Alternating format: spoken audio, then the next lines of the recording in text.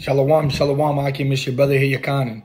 First and foremost, I want to start off by giving all praises, honor, and glory unto Yahweh, Ba'ashem, Yahweh Ba'ashem, Makakwadash, Barakatum.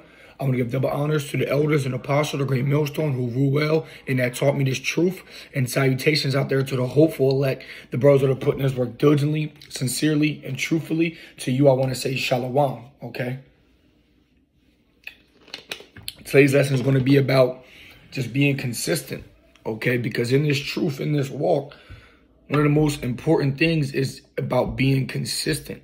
All right, we know things happen in our daily life, all right, or we have no control over, all right, but I was speaking to the brothers that I lived with yesterday that uh, we have to be stern and we have to be more strict on being consistent in this truth.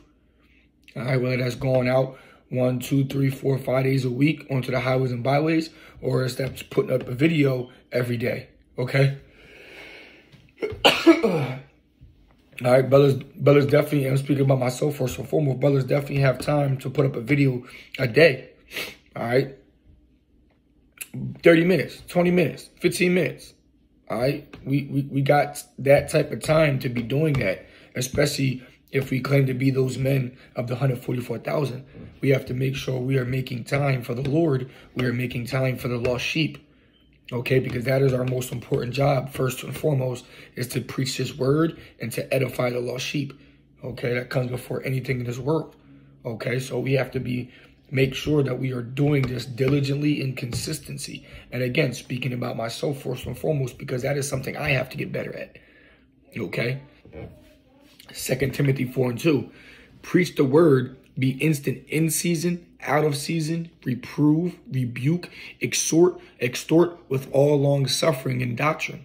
Okay, so it says, you know, preach the word. That's what we're supposed to do. Be be instant in season, out of season, meaning when it's nice out, when it's cold out, when it's rainy out, when it's snowy out, when you don't feel like it. Okay. To reprove, reprove, rebuke, exhort with all long suffering and doctrine. Okay, so it, when it gets when it gets cold out, that ain't a chance to chill inside and just do vids. You still gotta go out to the highways and byways, man. Okay, and all types of weather and all type of, uh, of, uh, uh, of different situations and circumstances might come up, man. Okay, the brothers they be out there, you know, just lost just lost loved ones that, that week, you know, still going out. You know, brothers that might not might not be feeling the best, they still go out. You know, brothers might have broke their arm or something might have happened. Brothers went out. All right we have to think, hey, what will Yahawashi do, man? Will Yahawashi make this time to, take it as an excuse and not to go out? Or Yahawashi suck it up and, and, go and go out, man? All right?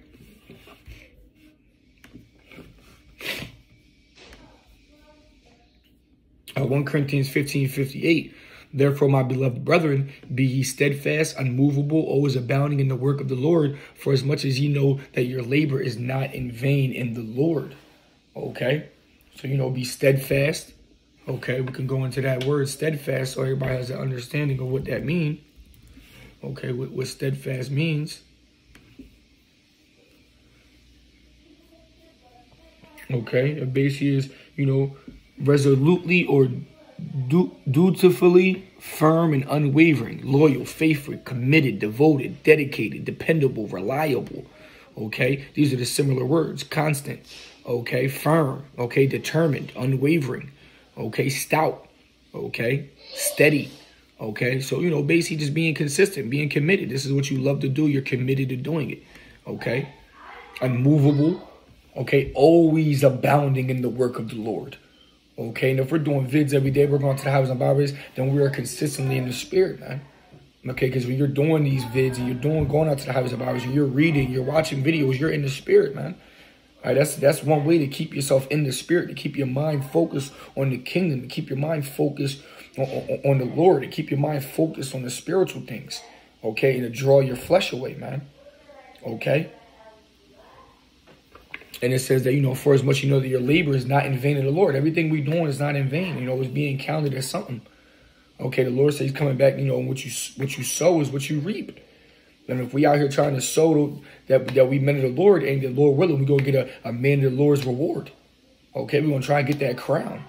Okay, that's what we should be fighting for. That's what we should be striving for. Okay.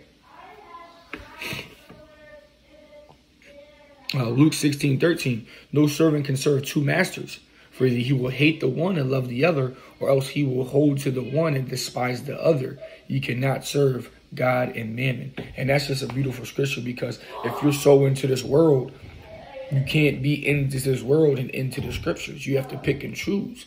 You know what I mean? But obviously, you have your worldly duties that you have to attend to, whether that's having a job, being a parent, okay, doing other things in this world that we know we have to do because we are, you know, prisoners of war.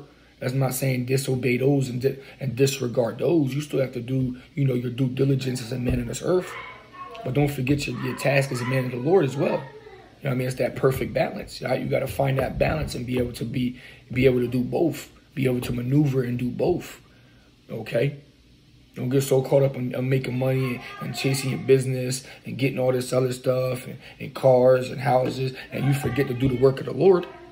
All right? Are you consistent with your daily work, but you're not consistent with your spiritual work? You know what I mean? You can go to work every day for Esau, nine to five, but when you come home, you don't got no time for the Lord. You know what I mean? Come on, we have to be better as that as men. I'm speaking about myself first and foremost. All right, because I run a business and every days, you know, I'll be working like two to nine, two to ten. I work out, you know, wake up in the morning, work out. You know, I'll be kind of fatigued a little bit. And uh some days I'll be like, I'll get to it tomorrow. Tomorrow come out and get to it. Then tomorrow, then tomorrow come out and get to it.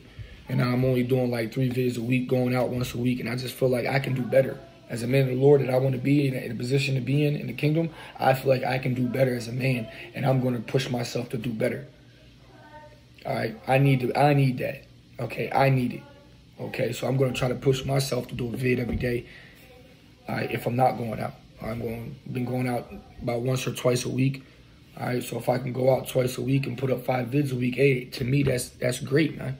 All right, I'm gonna try to be doing a vid or edification lesson every single day especially as the elders commanded it, man.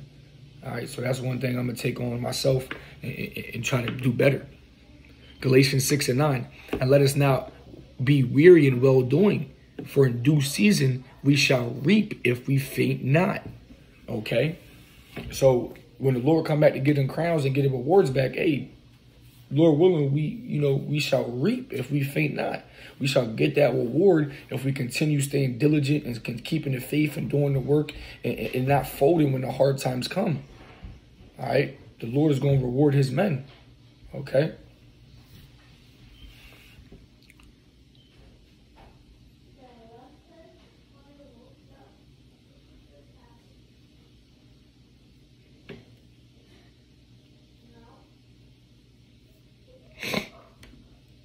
We go Titus 2 and 7. In all things, shewing thyself a pattern of good works, a pattern. Now, when you got a pattern, it's a, it's it's basically showing consistency. Okay, it's showing diligency. Okay, and and a pattern of good works. Okay, and doctrine shewing uncorruptness, gravity, sincerity, sound speech that cannot be condemned, that he that is of the contrary part may be ashamed, having no evil thing to say of you. Okay, so just just being consistent, okay, in this doctrine. All right, that can't be proven wrong. Okay.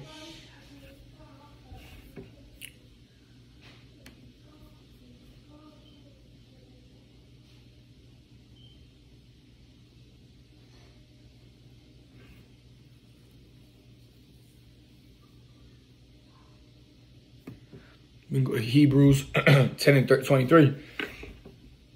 Let us hold fast the profession of our faith without wavering, for he is faithful that promised. Okay? Let us hold fast the profession of our faith without wavering. Okay? Without wavering, without, without being swayed back and forth, without being one week consistent, the other week inconsistent, back to consistent, back to inconsistency. Okay? Be able to maintain that discipline and consistency that the Lord looks for in his men. Okay, don't be a guy that goes hard one week, lays back, goes hard, lays back, lays. Like we gotta consistently go hard and continue to push this plow. Okay, we can't take our hand off. We have to, you know, keep pushing, man. All right, keep going, especially these times we in now, man. We should be more and more and more and more about the Lord as every day goes by, man. All right, we should be more and more and more in the spirit as every day goes by. All right, we should be increasing in knowledge, increasing in faith, increasing in, in obedience, increasing in discipline. Okay, increasing in the spirit. Okay. And we know we are doing these things if we are always reading and being edified and teaching. Okay, because when you teach things, you have to learn things. Okay. So if you're trying to learn, or if you're trying to teach, you have to learn. All right. So that's a good thing as well. You know, always being edified, always reading. Okay. Scripture say, blessed is he that readeth. Okay. So yeah, we like to watch videos and stuff by the elders, but also it's, it's it's important to read the words that you that that are that that are also being preached as well. You know what I mean?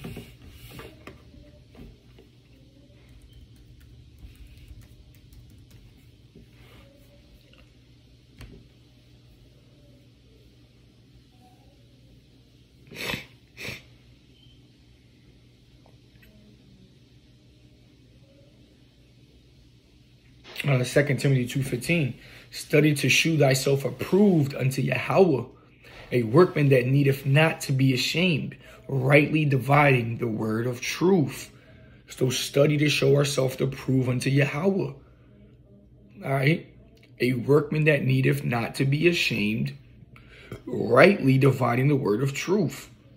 Okay, doing it right, not making up our own breakdowns. Okay, not going off of what we think. Okay, not assuming, but breaking down the scriptures how they are meant to be broken down the correct way. Okay, Second Peter 3.14, Wherefore, beloved, seeing that you look for such things, be diligent that you may be found of him in peace, without spot and blameless. And Lord willing, man, the Lord, we we we trying to be one of those men that the Lord blinks of blinks, you know, or washes away all of our sins that we ever committed. Okay? That we be that we be blameless that we be those virgins. Okay? Second Peter 1.10, Wherefore the rather, brethren, give diligence to make your calling and election sure.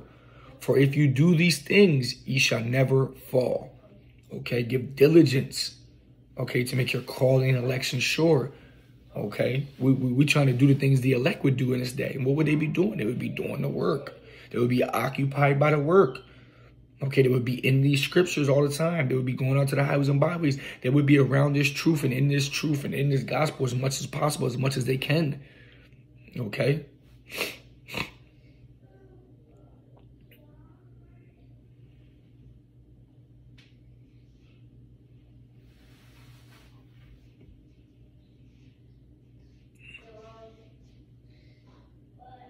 Okay, Philippians 3.14, I press toward the mark for the prize of the high calling of Yahweh and Yahawashi HaMashiach. So I press towards, didn't say pull away from, I'm going in reverse. We're pressing towards. That means we're pushing, we're going, we're just continue to go forward and forward and forward and just apply pressure and just keep going and keep pushing no matter how you feel, no matter if you don't want to do it. Hey, man, we in the flesh, man. So it might be certain days but you know the flesh might not be up for it. Well, that's where discipline comes in. This is where knowing that you have a duty as a man of the Lord. Okay, this is where the spirit overrides the flesh, man. Okay.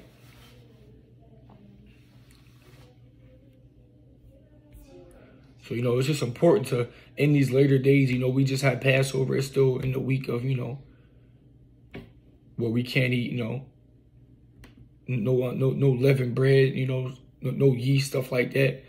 All right, everything got to be unleavened. Okay, so you know we just basically went over our new year as Israelites, and you know, hey, it's, it's time to kind of level up a little bit, man. If you was kind of bullshitting, you know, pick it up a little bit. You know, if you was kind of doing, you know, three, four visits a, a, week, try to pick it up to like five, six. If going out once a week, try to go twice. You know what I mean? It's, just trying to find a way, a way where you can increase as a man of the Lord. Try to find a way where you can level up your spirit. Okay? It's not always about leveling up the flesh. You know, people in the world want to find ways they can get more money. Hey, find ways where you can get more, you know, spiritual currency as well. You know, because this is our spiritual currency. Okay, find ways you can get more edified. Find little things where you can get better at. Okay, that's what I'm trying to do. I'm trying to look at, you know, self-examination and see what I can really become better at as a man of the Lord to help the sheep, you know, to help myself, you know, so that the Lord will look at me and be pleased. All right. So, you know, with that, I want to give all praises, honor, and glory unto Yahweh, Ba'ashem, Yahawashi, Ba'ashem, Rakakwadash, Barakathum, I want to give double honors to the elders and apostles of the great millstone who rule well and that taught me this truth. And salutations out there to the hopeful elect, the brothers that are putting this work diligently, sincerely, and truthfully. To you, I want to say, Shalom.